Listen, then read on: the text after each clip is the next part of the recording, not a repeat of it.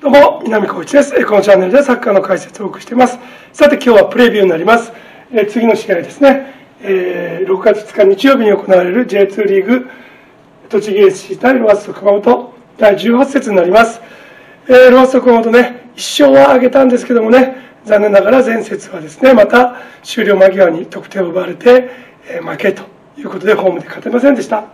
さて、それを受けてですね、この試合、やはりですね、え今の栃木の順位を考えても、え絶対に落としてはいけない試合、勝たなければならない試合ということになります。えそういった中でですね、相手の特徴なども含めて、いつものように、この試合のポイントをお話していきたいと思います。よろしく最後までお付き合いください。では、まずですね、ロアッソ熊本の先発予想ですけども、えゴールキーパー佐藤、それからディフェンス黒木江崎大西、ダブルボランチ上村豊田、この辺りまでではですね、おそらく変更がないかと思います。と前の方ですね、これはさまず前節の先発は左上下、右大本とトップ下に伊藤、藤井、ワントップ、大崎だったんですけども、まあ、これ途中交代で入ったメンバーを下に入れていました。えー、今ですね、この辺の選手たちも調子がいいです。さらにですね、この前はベンチ外になった松岡選手、このポジションできますね。それから竹本選手、このポジションできます。ということで、この辺りがね、入ってくる可能性もあると思いますね。えー、以前はね、やはりメンバー固定することが多かったんですけど、故障から選手たちが戻ってきてですね、おそらくトレーニングの中で調子がいい選手を見極めて、大木監督もね、使ってくると思いますので、ちょっと先発メンバーは読みづらい状況になってきているということが言えます。対するですね、栃木 SC ですけども、フォーメーションはですね、えー、3、4、2、1ということで、実はこれロアッソ熊本の今のフォーメーションと同じフォーメーションミラーフォーメーションということになります。で注目選手ですけども注目選手としてはワントップで先発してきている矢野貴章選手元日本代表ですね、えー、身長も高いです。187センチですかね。プレースタイルとしてね熊本出身でロアッソで引退した元日本代表牧誠一郎選手に似てます。イメージとしてはね。すごくいい選手。ともう一人注目したいのがトップ下に入る南野選手これ若手ですね。実は今シーズンもすでに5ゴール挙げてます、えー、ガンバ大阪のね育成育ちの選手ですけどもね。こういった選手が得点源ということになります。そしてですね栃木の特徴といいますか今のチーム状態ですけども実は、えー、順位は、えー、19位ですね。そして、えー、ここ11試合勝ちなし。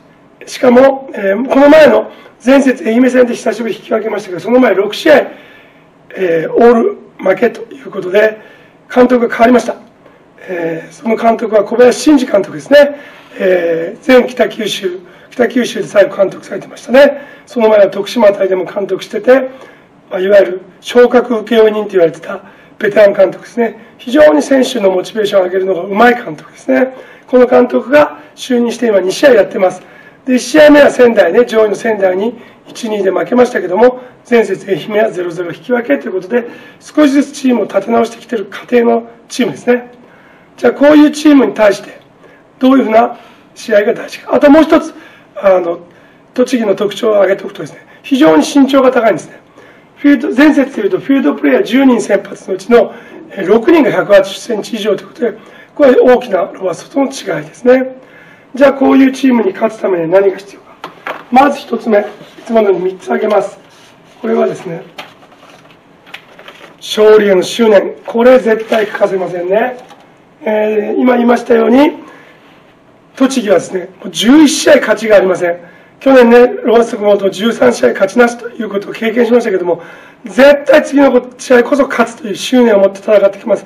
しかもそれをモチベートできる小林監督に変わってます。ですね。そして前節で負けが6試合続いた後半歩前進で次こそ勝つという気持ちで来ますので、まあ、その気持ちに負けないこと跳ね返す気持ちを持つこと。これは土台基本大前提です。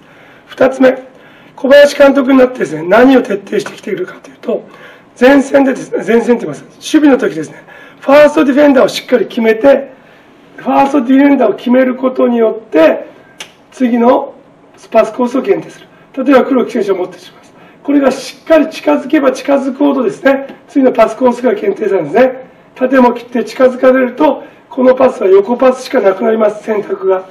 あるいはここの伸びますね。下がってきて伸びます。ここを予測して次を狙うっていう守備をしてきます。ということね。このプレス厳しいプレスをいかに剥がせるか。これがですねロアッソの勝利のポイント2つ目になります。プレスを剥がす。そして3つ目、えー、前節ですね。無得点に終わってしまいました。シュートチャンスがなかったことはないんですがまだまだチャンスが少ない。好機を喪失することもっともっとチャンスを作ってほしい。プレスを剥がしていつも通りのロアッソのテンポとリズムのあるパス回しをしながらもっとチャンスをたくさん作ってほしい。そして点を奪って勝ってほしい。こういう試合にしてほしいと思います、えー、なかなか苦しい状況続きますけどね。私たちと選手たちみんな一体になってね。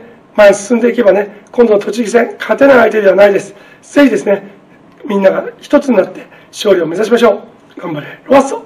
ではまたこのチャンネルで。またね。